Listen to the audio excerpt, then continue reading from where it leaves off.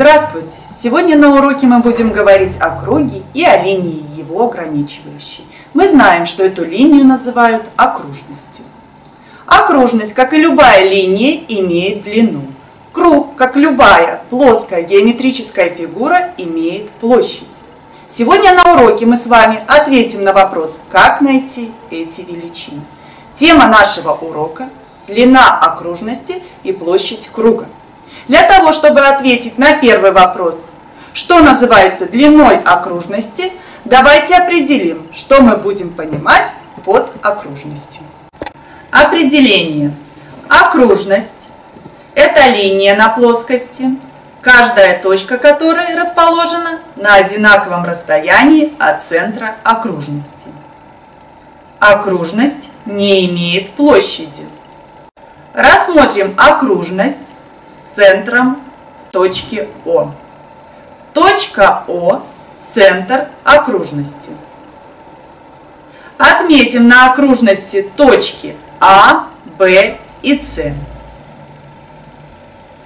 Соединим точки О и Б. Получим отрезок ОБ. Является радиусом данной окружности. Для обозначения его можно применять строчин, строчную латинскую букву R. Определение. Радиус окружности – это отрезок, соединяющий центр окружности с любой ее точкой. В переводе с латыни радиус – это спица колеса.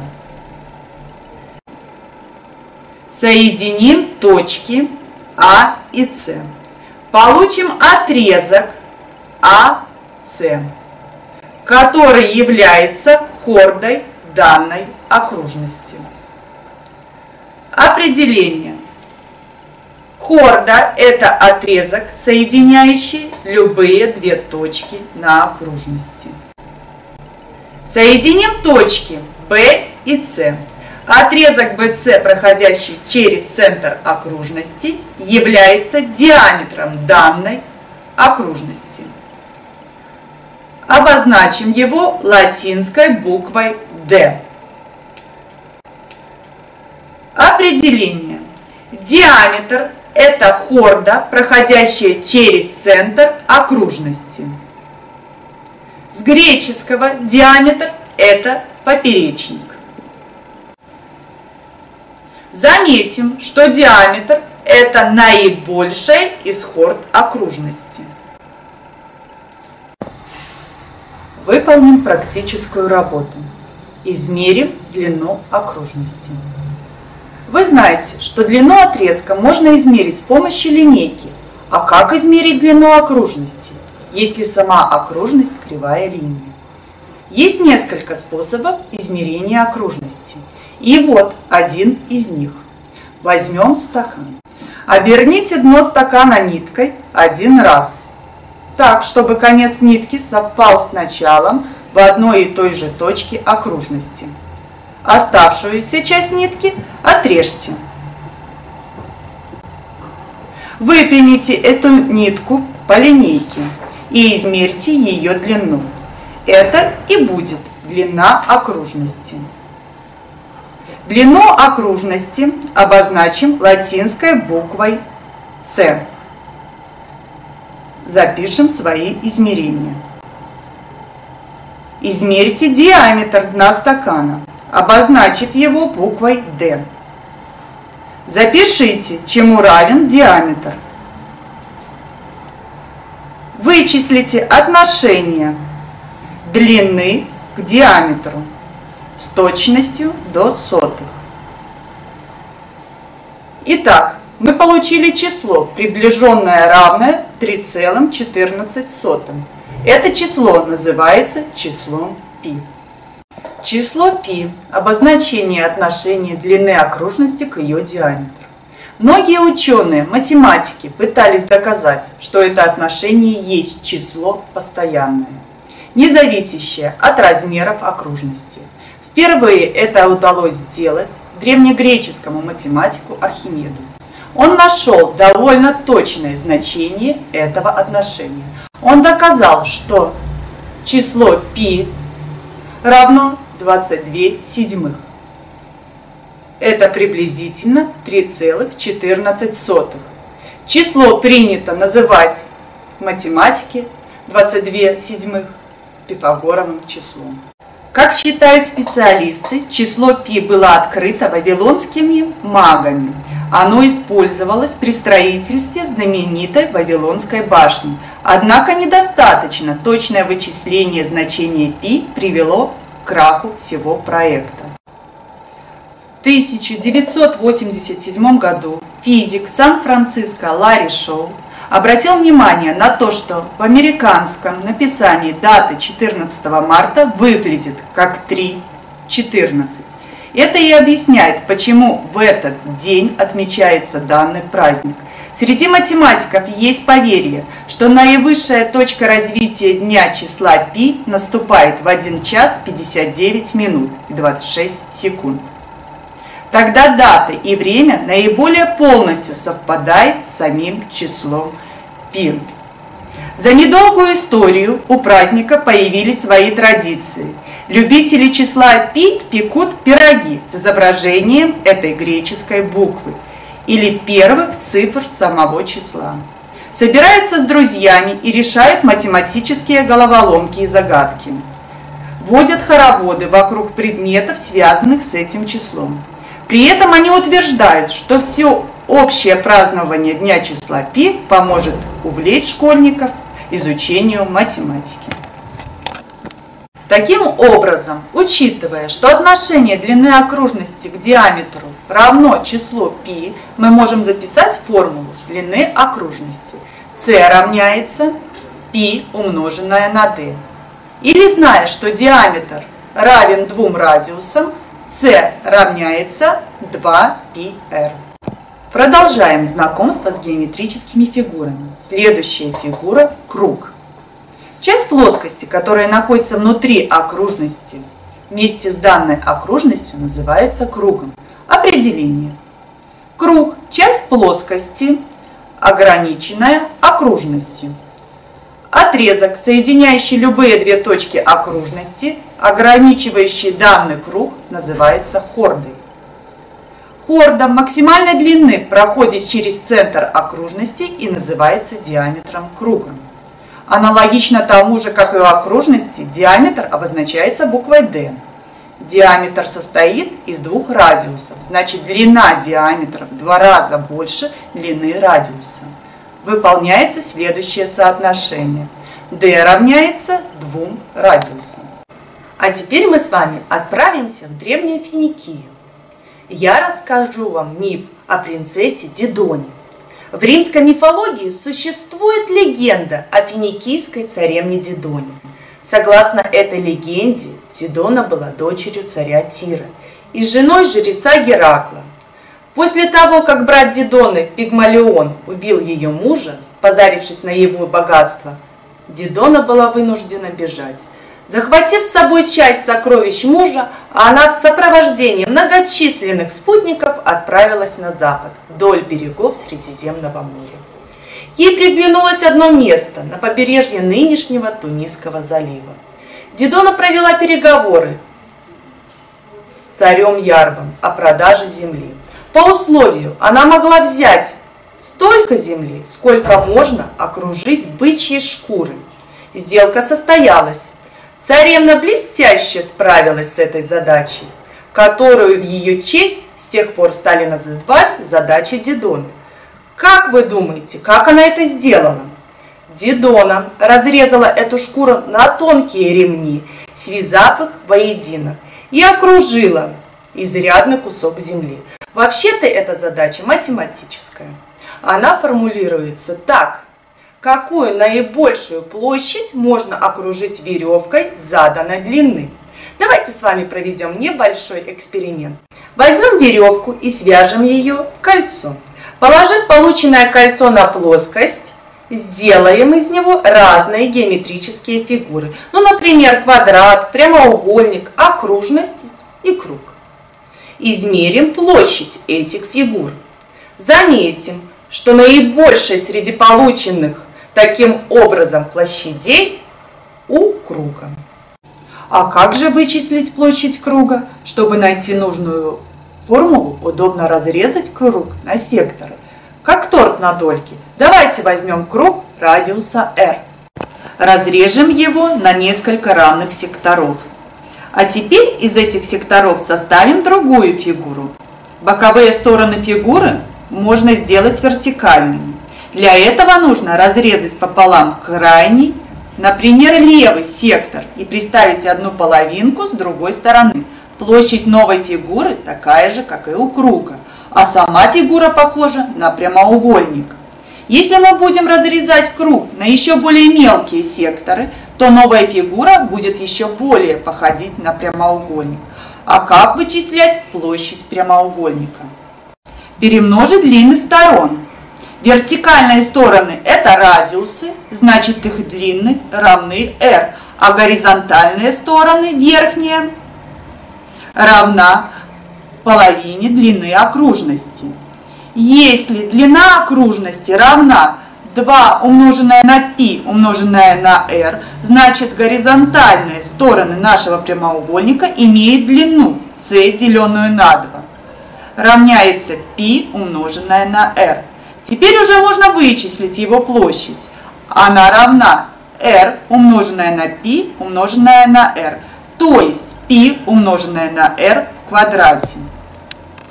Но у круга площадь такая же, потому что эту фигуру мы получили, разрезая круг. Эти формулы находят применение не только для чисто математических вычислений, но и применяются при решении практических задач. Итак, закрепим понятия, связанные с окружностью и кругом в виде небольшого блиц-опроса. Я задаю вопрос, а вы постарайтесь самостоятельно ответить на него. Линия на плоскости, каждая точка которой расположена на одинаковом расстоянии от центра, называется окружностью. Часть плоскости, ограниченная окружностью, называется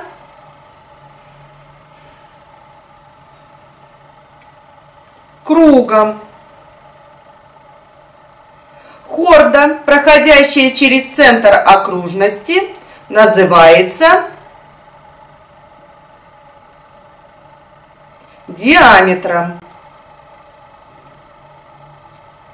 Отрезок, соединяющий две любые точки окружности, называется хордой.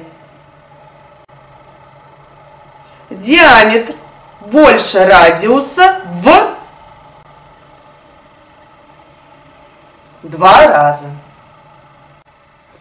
А теперь давайте отдохнем и немножко расслабимся. Изображения с волшебными кругами люди используют в медицинских целях. Когда на них смотришь, кажется, что они двигаются. Если смотреть на них несколько минут, то проходит головная боль. Поставьте на паузу и посмотрите несколько минут –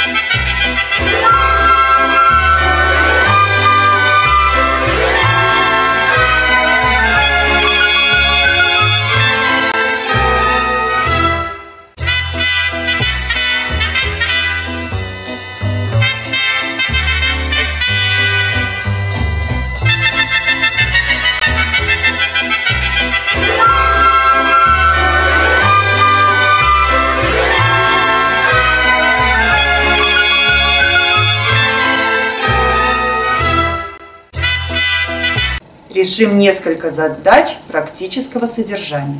Задача номер один. Диаметр CD-диска равен 12 сантиметров. Найдите длину окружности диска.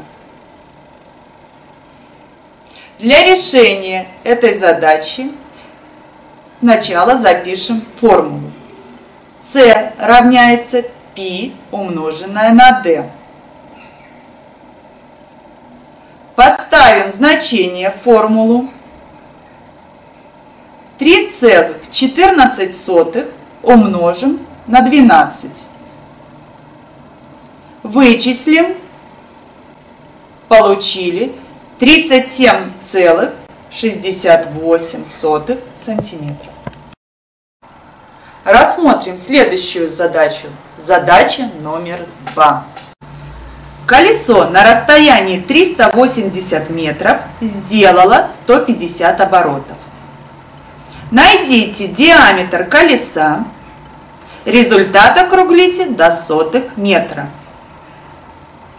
Если колесо сделало 150 оборотов за 380 метров, то на один оборот приходится 380 метров разделить на 150 оборотов. Поставьте на паузу и посчитайте сами. Таким образом, мы получили длину окружности колеса.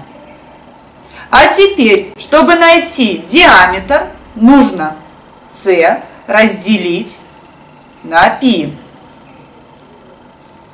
Округлили, получили 0,81 метра.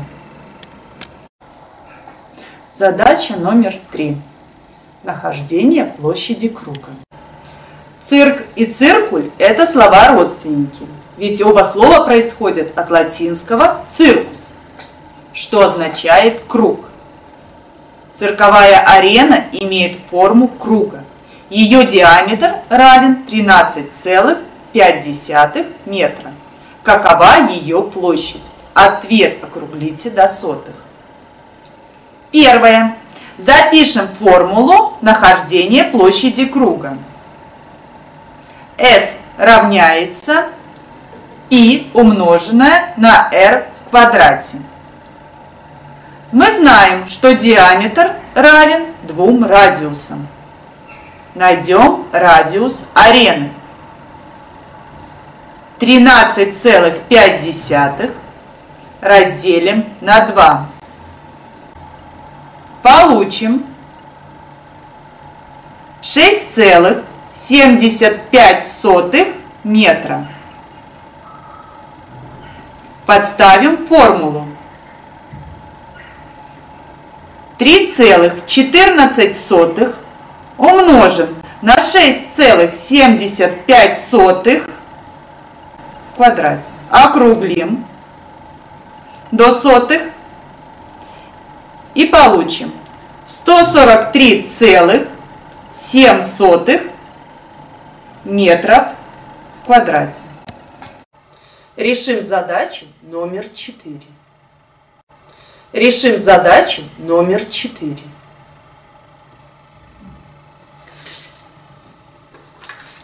Бабушка раскатала тесто в виде квадрата со стороной 30 сантиметров. И стаканом вырезала 9 кругов диаметром 8 сантиметров. Какова площадь обрезков?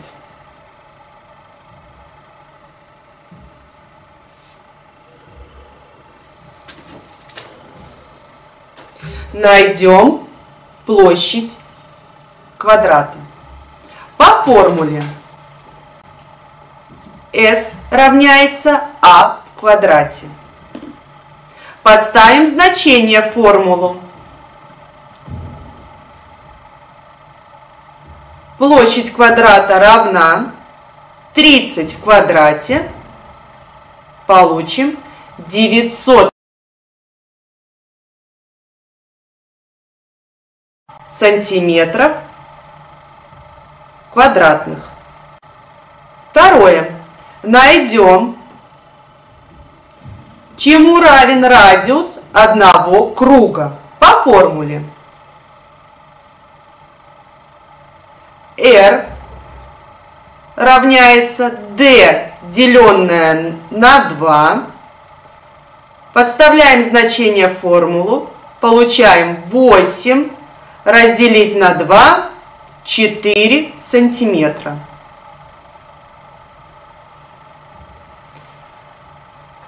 Найдем площадь одного круга по формуле.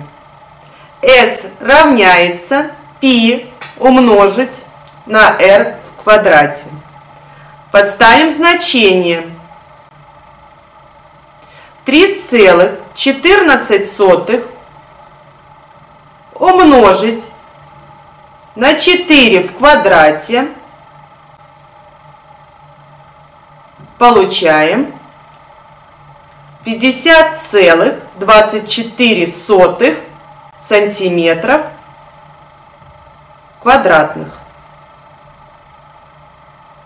Зная, что их было 9,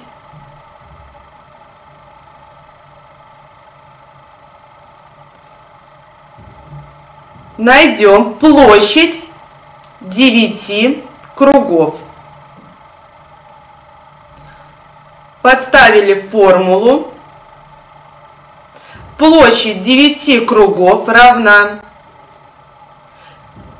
452,16 сантиметров квадратных.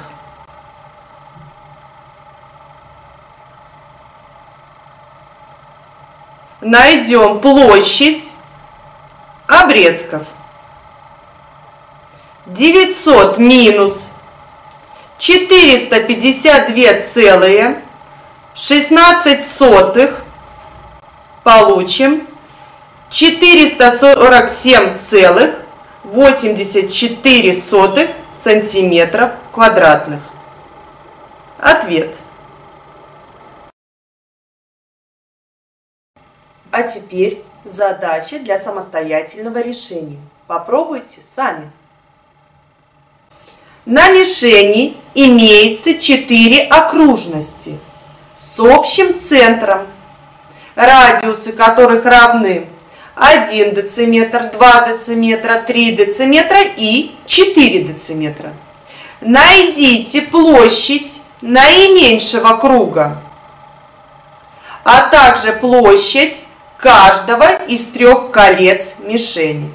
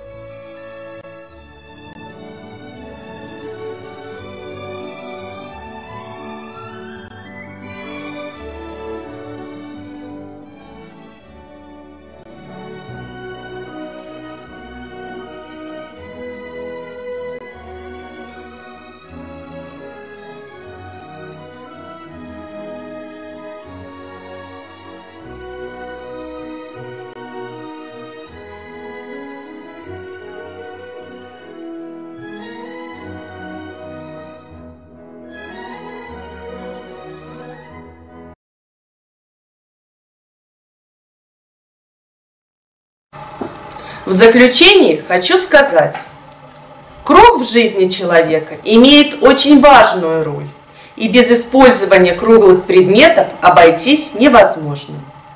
Окружность и круг удивительно гармоничные, совершенные, простые фигуры. А окружность – единственная замкнутая кривая, которая может скользить сама по себе, вращаясь вокруг центра. Поэтому колеса делают круглыми, а не квадратными или треугольными.